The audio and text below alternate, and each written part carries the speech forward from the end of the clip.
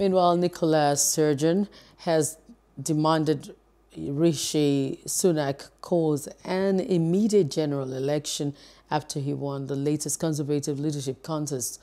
The First Minister said the former Chancellor of the Exchequer would become another example of a Prime Minister that Scotland did not vote for. The SNP leader warned him not to reimpose austerity amid fears that the UK government will be forced to slash public spending.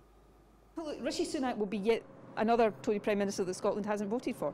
And if Scotland was given the opportunity today, I would uh, bet my bottom dollar uh, that Scotland would not vote for Rishi Sunak as Prime Minister.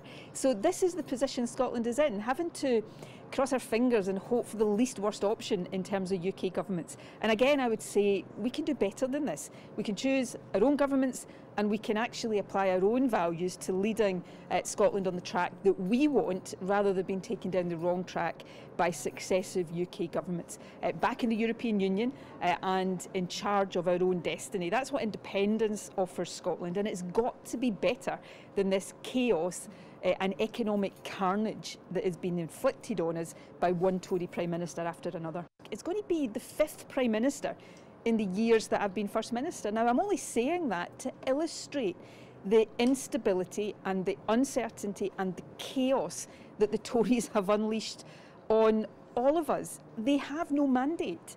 And you know, it is a democratic necessity that people get their say on who occupies number 10 Downing Street and that this isn't just decided by Tory MPs or at most by the membership of the Hello, hope you enjoyed the news. Please do subscribe to our YouTube channel and don't forget to hit the notification button so you get notified about fresh news updates.